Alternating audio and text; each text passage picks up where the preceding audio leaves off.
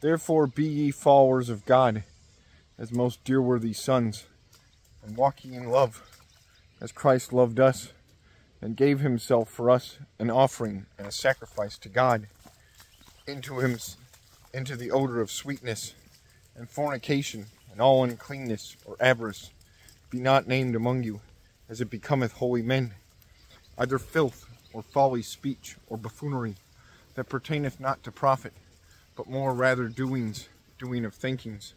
For know ye this, and understand, that each lecher, or unclean man, or covetous, that serveth to Mahomet, hath not heritage in the kingdom of Christ and of God. No man deceive you by vain words.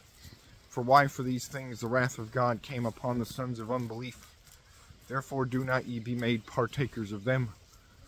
For ye were sometime darknesses, but now ye be light in the Lord. Walk ye as the sons of light. For the fruit of light is in all goodness, and rightwiseness, and truth. And prove ye what thing is well pleasing to God. And do not ye commune to unfruit, unfruitious works of darknesses, but more rather reprove ye. For what things be done of them in privy, it is foul yea to speak. And all things that be reproved of the light, be openly showed. For all thing that is showed is light. For which thing he saith, Rise thou that sleepest, and rise up from death, and Christ shall lighten thee.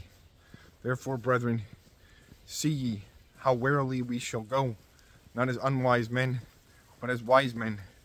Again, by, again buying the time, for the days be evil. Therefore, do not ye be made unwise, but understanding which is the will of God. Do not ye be drunk of wine, in which is lechery, but be ye filled with the Holy Ghost. And speak ye yourselves in psalms and hymns and spiritual songs, singing and saying psalm in your hearts to the Lord, evermore doing thankings for all things, in the name of our Lord Jesus Christ, to God and to the Father.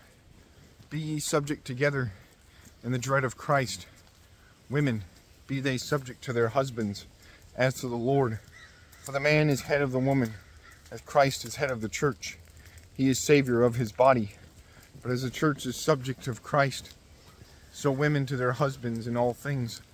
Men, love ye your wives, as Christ loved the church, and gave himself for it, to make it holy, and cleanse it with the washing of water and the word of life, to give the church glorious to himself, that it had no wem, nor riveling, or any such thing, but that it be holy and undefiled. So and men shall love their wives as their own bodies. He that loveth his wife loveth himself. For no man hated ever his own flesh, but nourisheth it and, and fostereth it, as Christ doeth the church. And we be members of his body, of his flesh, and of his bones. For this thing a man shall forsake his father and mother, and he shall draw to his wife, and they shall be twain in one flesh.